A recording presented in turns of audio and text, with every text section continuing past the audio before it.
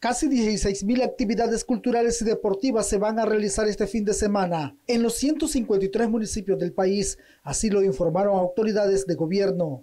Celebrando la paz y el derecho que tenemos, que ejercemos a vivir tranquilo. Anunció que este fin de semana se inaugura la feria ganadera en Camuapa, Boaco, donde se estarán dando cita a las mejores ganaderías que hay en el país, destacándose chontales como el pionero en ganadería. Recordemos que se inaugura también la feria ganadera en Camuapa desde hoy, viernes 2, y la feria Atofer también.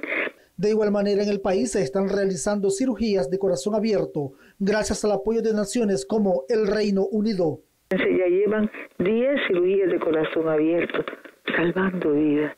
En el Hospital Infantil La Mascota Manuel de Jesús Rivera se realizan todas estas cirugías. En tanto, en el SINAPRED se estará exponiendo el plan de invierno este lunes próximo.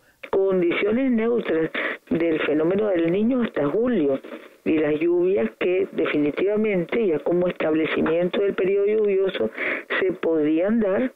Todo esto siempre son proyecciones.